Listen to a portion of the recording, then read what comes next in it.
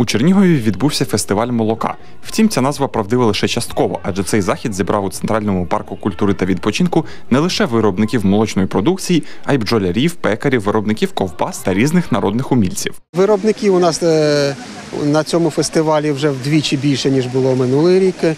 І запрошені, звичайно, звичайно, молокопереробні підприємства. А як можна пити молоко без булочки, без хліба? Тому і хлібобулочні підприємства, е, кондитерські підприємства, які виробляють кондитерську продукцію, які виготовляють е, булочки. Тобто, все це ми теж запросили. А якщо є молоко, булочка, то звичайно і мед повинен бути. На фестивалі були присутні і гіганти молочної індустрії, і приватні підприємці, і невеличкі кооперативи. Причому саме до представників малого бізнесу черги були найдовші. Самі торговці пояснюють це тим, що їм складно конкурувати з потужними підприємствами у кількості товару, тому вирішили брати якістю та оригінальністю. Основа бринза, а з різними спеціями пробуємо, що людям подобається на різні смаки. Ну тобто бринза, масло, вершки, сметана, от така от продукція.